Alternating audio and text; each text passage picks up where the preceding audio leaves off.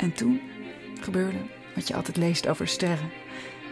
Ik was toevallig op het juiste moment op de juiste plek en mocht invallen voor een ziek geworden actrice bij het Goudtoneel.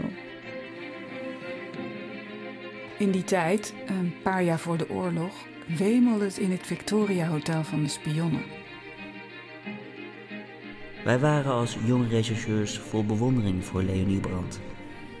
En tegelijkertijd uh, onwennig en huiverig tegenover dit voor ons zo geheel nieuwe type mens.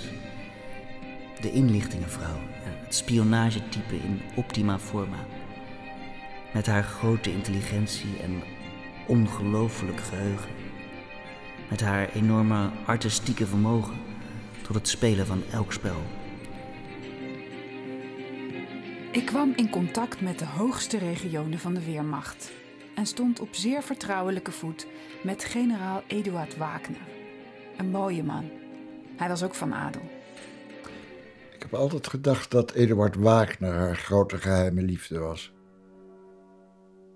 Er werden weddenschappen afgesloten tussen de Gestapo en de cipiers.